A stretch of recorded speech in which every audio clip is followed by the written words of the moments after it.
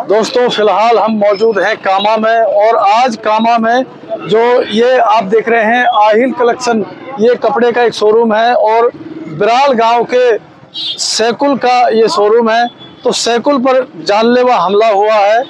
उनको पैरों में गोली के छर्रे लगे हैं और उनको पेचकस और चाकुओं से उन पर वार किया गया है। तो वो जख्मी हालत में उनको भरतपुर हॉस्पिटल में एडमिट कर दिया गया है और हमलावरों को भी उनकी खोज करते हुए भंडियारा गाँव में उनको पकड़ लिया गया है और वो फ़िलहाल अब पुलिस की गिरफ्त में है।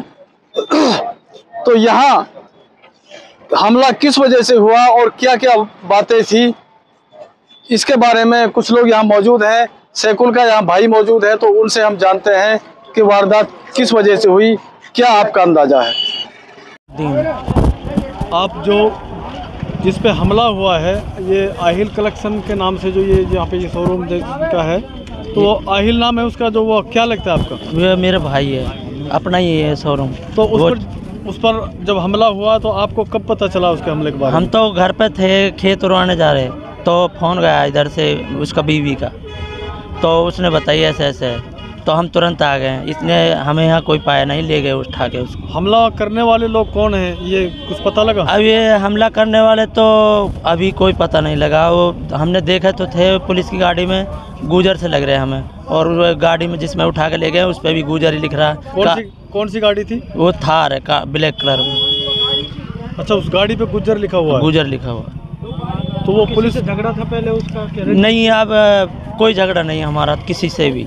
न। कहाँ कहाँ चोट लगी है? उसके पेट में भी लगी है सिर में भी लगी है हाथ में भी लगी है। कहाँ कहाँ लगी है? और गोली का छर्रा पैर में लगा है। तो पेट और सर में किस चीज़ के लिए? वो एक तो पेचकस था एक चाकू था। रोड भी थी। वे? बताने में तो आ रहे हैं पाँच छः लोग थे। अब हाथ में तो पुलिस के वे तीन आए। तो पकड़े कैसे गए वो? वो भंडारों में घेरा करा उनका। कैसे पता चला भंडियारा की तरफ़ जा रहे हो वो? हम आए जैसे ऐसे ही फ़ोन करते रहे गाँव गए और पुलिस को भी कर दिया पुलिस भी लगी संग गाँव गए फ़ोन कर दिया हमने उन्होंने घेर लिया। तो भंडियारा के ग्रामीणों ने पकड़ा उनको? हाँ। क्या लगता है आपको? वो मेरा छोटा भाई है। वो तो छोटा भाई है। नहीं आपको क्या लगता है हम हमलावरों ने हमला किस लिए किया किस वजह से किया? ये तो अब पूछने से पता पड़ेगा पुलिस पूछताछ करेगी कि ये कोई फिरौती का मामला है क्या कि ये आपस में कोई विवाद का चक्कर है क्या कोई राजनीति का चक्कर है। ये तो अभी पूछने से पता लगेगा ना पुलिस पूछेगी उनको हम कैसे कह दें कि जायदा की कमी है नौमच की कमी है। नहीं हम किसी के ऐसे नहीं कह सकते। तो सुनने में आ रहा है कि कई दिन से धमकियाँ मिल रही थी। अब ये धमकी तो आती रहती हैं उससे तो हम भी रात में मना कर रहे थे। धमकी धमकी किसने दी? फ़ोन पे दी या फिर आमने सामने दी? नहीं फ़ोन वोन पे ही आती होगी ये तो हमें मालूम नहीं हम तो धमकी कौन से फ़ोन नंबर से आई है ये कुछ पता है? उसके ना पता हमें मुझे नहीं पता उसे ही पता होगा।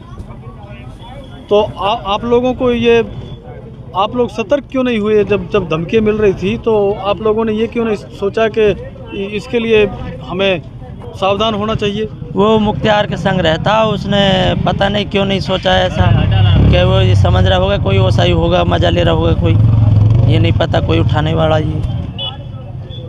धमकी क्या कहकर मिल रही थी? भाई ये मेरे को मालूम नहीं है उसे पता होगा मैं तो जमींदार में रहता हूँ मेरे को आपको नहीं बताया? नहीं। फिर किसको बताया था कि धमकी मिल रही है? अब ये तो अभी किसी को नहीं बताया अब आने से पता पड़ेगा क्या होगा क्या नहीं कैसा क्या मामला उस वो आ जाएगा भरतपुर है तो अभी भरतपुर ले गए उसे अभी कंडीशन कैसी है उनकी? कंडीशन तो। अभी तो सही है।